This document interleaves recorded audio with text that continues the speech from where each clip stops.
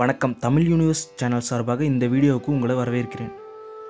தமிழக கோவில்கள்லேயே ரொம்பவும் பழமை வாய்ந்த கோவில்களில் ஒன்று தான் பழனிமலை முருகன் கோவில். தினமும் ஆயிரக்கணக்கான மக்கள் இந்த கோவிலில் வந்து முருகனை கும்பிட்டுட்டு போவாங்க.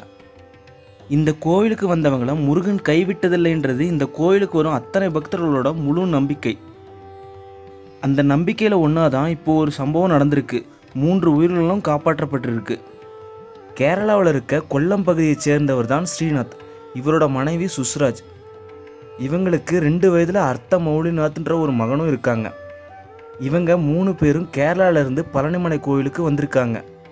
வந்து சாமி கும்பிட்டுட்டு கேரளாவில் இருக்க தங்களோட சொந்தக்காரங்களுக்கு ஃபோன் பண்ணி வாழ்க்கையில் பல கஷ்டங்களை பார்த்தாச்சு. நாங்கள் குடும்பத்தோட தற்கொலை பண்ணிக்க போகிறோம்னு சொல்லி ஃபோனை கட் பண்ணி ஃபோனை சுவிட்ச் ஆஃபும் செஞ்சுருக்காங்க. உடனே பதறி போன அவங்களோட சொந்தக்காரங்க பழனியில் இருக்க காவல்துறைக்கு தொடர்பு கொண்டு பேசியிருக்காங்க. அவங்களும் வேகமாக செயல்பட்டு பழனிமலை அடிவாரத்தில் இருக்க எல்லா விடுதலையும் சோதிச்சு பார்த்து அந்த குடும்பம் எந்த விபரீதமும் எடுக்கிறதுக்கு முன்னாடி போய் காப்பாற்றிருக்காங்க இந்த செயலை பார்த்து அங்கிருந்த பொதுமக்கள் போலீஸுக்கு பாராட்டுகளை குவிச்சிட்டு வராங்க.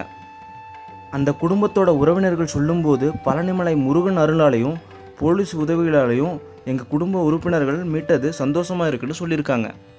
இந்த வீடியோ உங்களுக்கு பிடிச்சிருந்தா வீடியோவுக்கு கீழே இருக்கிற சப்ஸ்கிரைப் பட்டனை கிளிக் பண்ணி பக்கத்தில் இருக்கிற பெல் ஐக்கானையும் கிளிக் பண்ணிடுங்க